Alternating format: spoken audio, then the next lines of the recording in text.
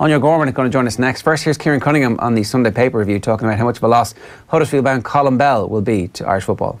Uh, there's very little of it on it in, in, the papers, like a couple of lines here and there. But Colin Bell, the women's manager, has stepped down. He's moving to work on, as part of the background team at Huddersfield, yeah. women's team in England. But in going, he said it was, you know, was partly related to what's been going on with the FAI yeah. and f- future promises of funding. And this is an indication of what's happening coming down the tracks. You know, with the withdrawal of funding, with uh, sponsors running scared, with this and all of this stuff isn't going to go away. Like this story could drag out for a long, long time. So it is going to impact on jobs and on on on what's happening at various levels in Irish soccer. And I think we've seen a, a sign of that with Colin Bell, who the women's players rated really highly. Mm. Like he is a big loss. So yeah. I think yeah. that's a practical illustration of how messy Loss. this is going to get. Áine O'Gorman is with us now to help us preview the England USA game this evening. Before we get to that, though, just uh, it'd be remiss of me not to ask you about the departure of Colin Bell. Uh, very highly rated by the players, is what we're hearing. Was that your experience? Sorry, was that, was that your experience? Um, yeah, like he came in at a good time. I think I said before, off the back of the stand stand we made as international players, and probably got a lot of resources off the back of that as well. And um, he did have his firmly his own uh, football philosophy as well. But I do, I honestly think if you look back on the results, then obviously apart from the, the draw against the Dutch, it's it's no more success than than the previous managers have brought as well. So um, while obviously it's really really bad timing for the girls coming up to the European Championship qualifiers, uh, that, that's a disappointing factor as well. But I think that we just look to have to look ahead now, and hopefully the FAI get the right person in to do the job. Is there an obvious candidate? Because um, there had been some speculation that maybe an internal candidate would get the job, and that there was somebody ready to go. Yeah, no, I think it's a hard one to call. I think I said before that they just have to.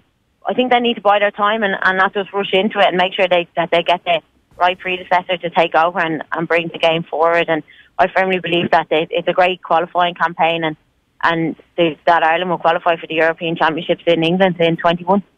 Yeah, I mean, uh, qualifying for the Euros in England, given that it's on our doorstep, given that so many of our best players are actually playing in England, that'd be a, a, a, the perfect tournament for us to get to. I mean, obviously, any Euros is going to be great, but the ones that are in England, there'll be huge Irish mm-hmm. support. Mm-hmm. Um, so it's kind of really important.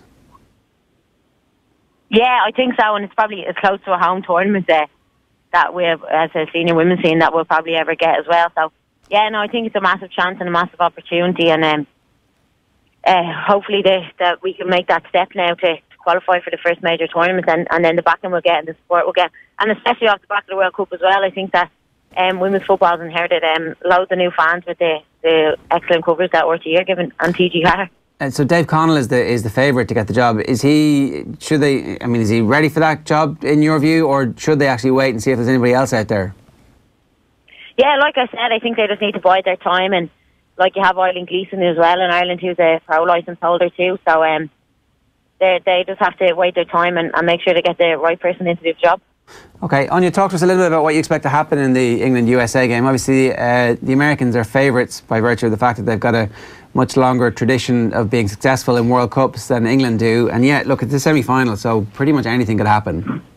Yeah, anything can happen. And I think, personally, at the minute, teams are probably probably on level par, and England probably have a better have had a better run in the games and, and are probably showing a little bit better form. I think the USA have probably been lucky in a good few of their results um, coming up to leading up to the semi finals as well. But like the squad both teams have and both teams are going to be fresh enough with the rotations both managers have been been successfully able to do. Like you have the front three of the USA, Rapinoe, Morgan up front, and then you have the combination of Dunn and uh, Rapinoe down the left side against Parris and, and Bronze down the right side for England, which is both probably the two the major strengths of the teams as well. So I'm really looking forward to them. I think it's going to be exciting one, and I don't think I can call it. It could easily go to extra time and penalty.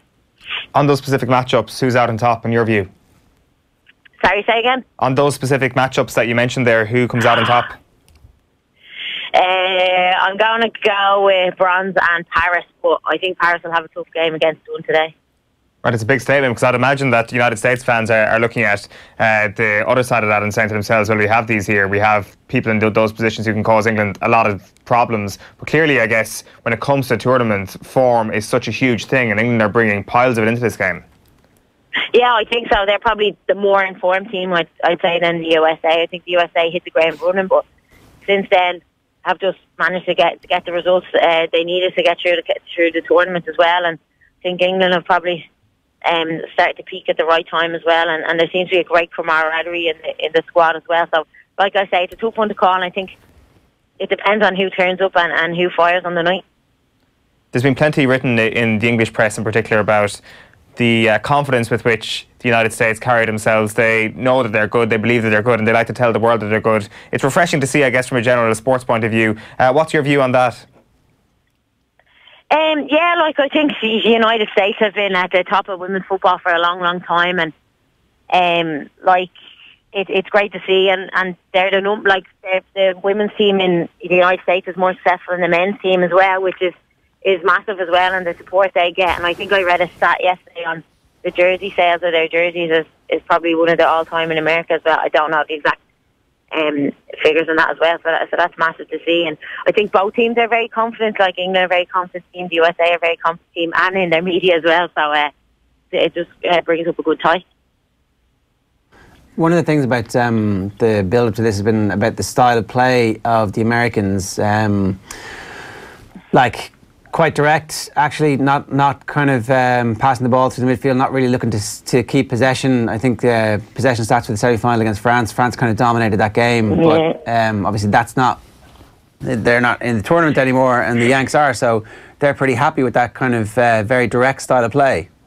Yeah, it seems to be working for for them so far, and it's goals that wins game. That's the only stat that matters at the end of the day, and um, yeah, they are a little bit more direct, and I think they've probably been lucky, like I said, with a few results and a few penalty decisions as well, um, to get them through. But um, that's just the winning mentality they have amongst them. But um, yeah, England will probably play play a little bit more football than the USA, but I think they just look to get the, the ball up to their forward players that do the danger as quick as they can. Um, in, in terms of your own career, Áine, you, you stepped away, I think, yeah. uh, quite young from the international setup, despite the fact you had already got 100 caps by the time you were 29. So, um, would you be tempted to go back to international football? Yes, I would be tempted. Um, I suppose I have to see what happens, but if I'm playing well and, and whoever comes in as manager picks me, um, I'd have to strongly consider it. Yes. Okay, right. Does that suggest there was an issue with Colin? Uh, that it was it was him that was one of the reasons why you stepped away? No, no. I think I, I just I've been playing for a long time and had a massive commitment now, and I probably I've obviously I took a step back as well, and and looking at the World Cup and stuff like that probably just gives you a little bit of hunger, but like I said, we'll just see what happens and, and who comes in to take over. Okay, so you're, you're keeping your options open? Yeah, that's it. All right, fair enough. Áine, thanks for joining us this morning. Cheers. No worries. Chat to you soon. Bye. Áine O'Gorman giving us some thoughts.